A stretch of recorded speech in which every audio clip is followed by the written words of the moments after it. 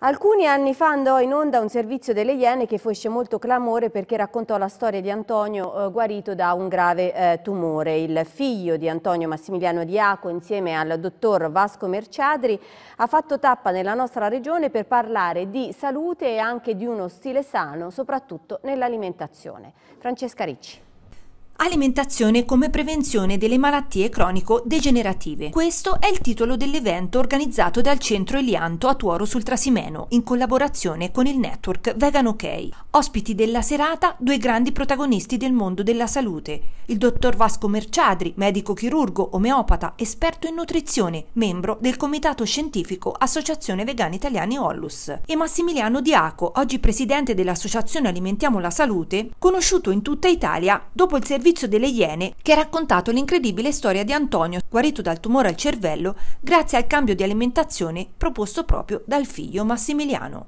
Questa è la risonanza magnetica fatta dopo la radioterapia, prima di iniziare la cura base vegetale, e c'era ancora una massa tumorale di quasi 2 cm. E questa accanto invece è la TAC dopo appena 3 mesi di cura, pulita. Mangiare sano è lo strumento che ci dà il potere di dare al nostro sistema il miglior esito per dare il massimo delle performance sulla salute e sul benessere. L'Umbria è una delle regioni dove il tasso di mortalità per malattie cronico-degenerative, ictus e malattie cardiovascolari è altissimo. Il perché ce lo spiega il dottor Vasco Merciadri. Almeno il 70-75% delle patologie sono legate all'alimentazione. Una sana alimentazione ci allontana e scongiura il fatto che possa possano crearsi delle gravi patologie. Noi dobbiamo cambiare nei limiti del possibile la nostra alimentazione, la nostra deve essere un'alimentazione a base di frutta e verdura cruda, cereali integrali e legumi. Quindi lasciare da parte tutti quei prodotti che non vanno bene per l'essere umano, cominciando da carne, pesce, latte e derivati, uova e simili. Oltre alla farina